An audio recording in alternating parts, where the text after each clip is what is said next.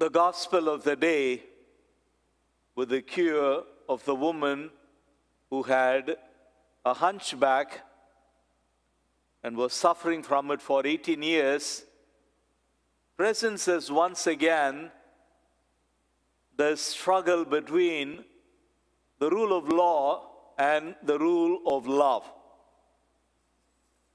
And this is a perennial discussion between Jesus and the Pharisees.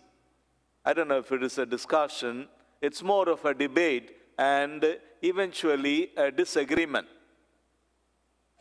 The Pharisees uphold the law, whereas Jesus, without doing away with the law, goes to the heart of the law, to the spirit of the law, to what he calls love.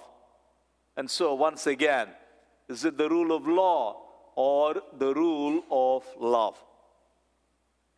My dear sisters and brothers, there comes a time in our life when you and I take shelter behind the rule of law and do not show ourselves to be generous, merciful, and compassionate and helpful to those who are in need, and we use all sorts of laws and regulations in order to stay away from the good that we could do to that individual. And so the person who is hurting continues to be hurt. And that is where we, like the Lord, should be able to take a stand and go to the heart of the law, which is love, and do what we can to alleviate their pain, to better their situation.